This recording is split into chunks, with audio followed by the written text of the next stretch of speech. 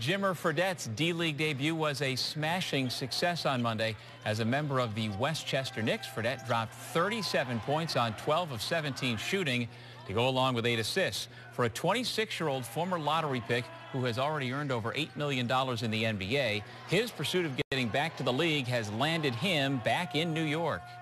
You know, I'm just trying to continue to work hard at every aspect of the game, trying to find my rhythm, uh, be able to get some good confidence, and uh, hopefully be able to, at some point, get a call up. I think everybody in the D-League wants that, and uh, if, if that happens, hopefully be prepared and, and more prepared and ready to go this time around.